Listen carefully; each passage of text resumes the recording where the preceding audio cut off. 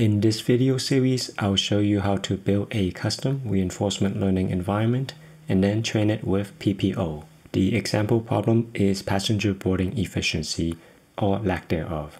The problem is simple, how to get everybody's butts in the seats without taking 50 minutes. First, we'll need to map the problem as a reinforcement learning problem. For example, it is not immediately apparent who or what is the learning agent in this scenario.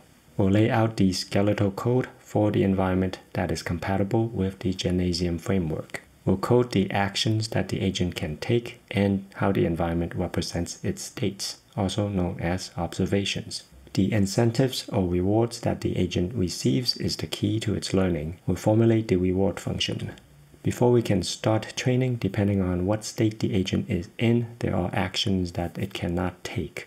We talk about how to mask out those invalid actions. Finally, we'll train the agent with PPO or more accurately, maskable PPO.